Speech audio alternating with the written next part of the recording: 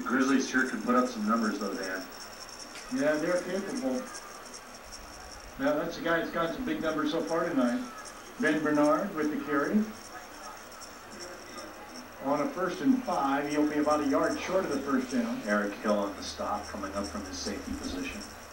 Number twenty-six.